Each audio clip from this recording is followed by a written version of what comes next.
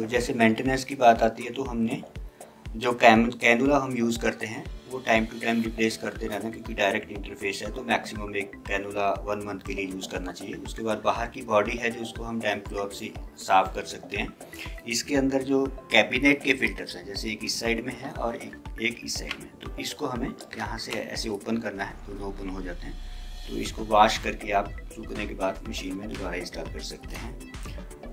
उसके अलावा कभी भी मशीन यूज़ करते टाइम उसको बैग में डाल के वैसे यूज़ नहीं करना ओपन होना चाहिए। इस बैग में रहेगा तो इसमें वेंटिंग वाली साइड जो है फिल्टर्स पे आती है, वहाँ से वो वेंटिंग का काम करती है। इस मशीन के अंदर सभी टाइप के मतलब इन बिल्ट अलार्म्स अवेलेबल हैं। अगर मशीन को ऑक्सीजन लो दे रही है तो ऑक्सीजन लो का आपको अलार्म आ जाएगा।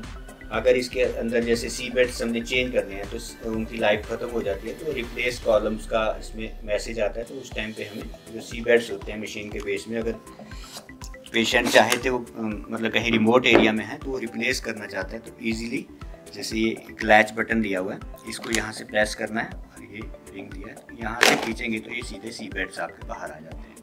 तो उन पर कैप्स होते हैं न्यू सी बेड्स में ये वाले, और तो यहाँ पे चार कैप्स होते हैं रिमूव करें और सेम इसी वे में आप डायरेक्ट इसको इंस्टॉल कर सकते हैं। तो ये सी बेड्स चेंज करना पेशेंट खुद भी घर पे इसको चेंज कर सकते हैं। उसके अलावा टेम्परेचर के कुछ अलार्म्स होते हैं कि लो टेम्परेचर हाई टेम्परेचर वो लिख के आता है। उसके इसमें या तो वेंटिलेशन प्रॉपर नहीं है या फिर मशीन का फ़ैन वर्क नहीं करे तो सर्विस रिक्वायर्ड हो जाता है। तो ये चीज़ें कुछ जो पेशेंट ने ध्यान में